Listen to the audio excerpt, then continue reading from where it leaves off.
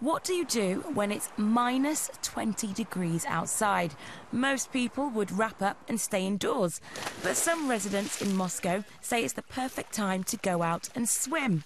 The brave swimmers carved out a pool in the icy Moscow River, even though at times their feet were being frozen to the floor. But these Russian swimmers say it's better to swim outside in the cold because it toughens you up and gives you energy.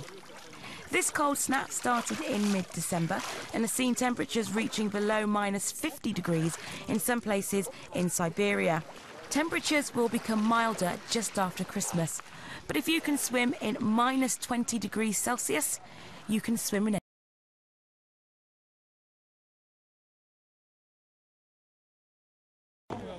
Now, most of us love to be wrapped up and sat by the fire in this cold weather, but these guys have decided to strip off and do this. Yeah, as crazy as it seems, these swimmers in North China actually enjoy diving into water that's minus 20 degrees Celsius. Around a dozen swimmers took the plunge to enjoy what they like to call the embrace of nature. Ah!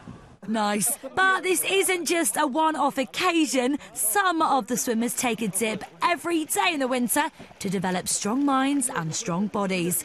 Uh, yeah, we'll stick to a cuppa by the fire, thanks.